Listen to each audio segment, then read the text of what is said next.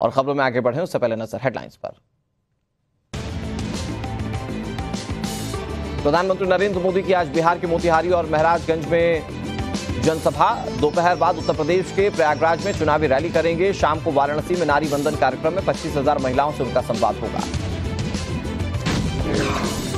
लोकसभा चुनाव के पाँचवें दौर में उनचास सीटों पर 60 फ़ीसदी से ज़्यादा मतदान। जम्मू कश्मीर में बिहार से भी ज़्यादा वोट पड़े। उनसठ प्रतिशत लोगों ने किया वोट। पश्चिम बंगाल के जलपाईगुड़ी में राधा रामकृष्ण मिशन परिसर पर हमले की पीएम नरेंद्र मोदी ने निंदा की। टीएमसी पर वोट बैंक की सियासत का आरोप लगाया। ममता बनर्जी बोली, हम किसी संस्था के खिलाफ नहीं।